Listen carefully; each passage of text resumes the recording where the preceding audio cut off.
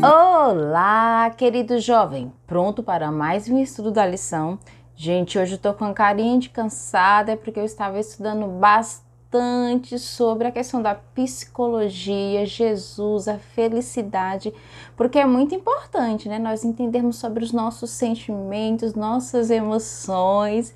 É por isso que eu tô assim, com essa carinha de cansada, tá? Mas agora vamos para o estudo da lição. E o título de hoje é por que celebramos? Sabe quando a gente vai para aquelas festas de aniversário, nossa, nós gostamos, não é verdade?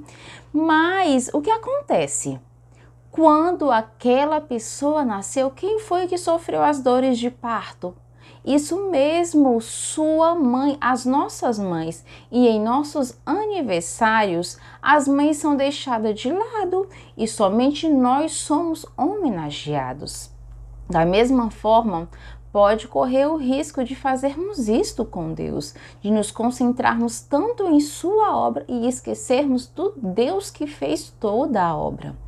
Deus fez o mundo em seis dias. E no sétimo dia ele deixou o sábado de presente para mim, para você, para nos relacionarmos profundamente com Ele, mantermos comunhão e intimidade e comemorarmos toda a sua criação, como está escrito em Êxodo capítulo 20, verso 11 porque em seis dias fez o Senhor os céus e a terra, o mar e tudo que neles há, e ao sétimo dia descansou. Por isso o Senhor abençoou o dia de sábado e o santificou. Deus fez todas as coisas, inclusive o sábado, para que eu e você pudéssemos ter uma vida plena e abundante, que constantemente possamos lembrar desse Deus maravilhoso e ter um coração agradecido. Eu sei que muitas vezes, por Deus ser tão grandioso, é um pouco desafiador conhecê-lo profundamente, mas ele faz questão de ter esse relacionamento conosco, sem contar que ele nos fez seres extremamente relacionais. Quando estudamos a psicologia, ela nos aponta a importância de nos relacionarmos profundamente com as pessoas, de termos amigos, aqueles que a gente pode confiar, abrir o coração. Deus quer ser o meu e o seu amigo. Ele deixou toda a obra de sua criação para que, através de toda a sua natureza, dos passarinhos, dos animais, nós pudéssemos ver a sua bondade. Durante esta semana, nós estudaremos mais profundamente sobre quem é Deus, sobre o seu caráter e como ele é extremamente zeloso e bondoso comigo e com você. Aqui no finalzinho da lição fala assim: indo além das ações do Criador, o que o sábado pode nos ensinar sobre o próprio Deus. De que maneiras o sábado pode servir como lembrete do seu caráter? Deus se preocupa com cada detalhe de nossa vida.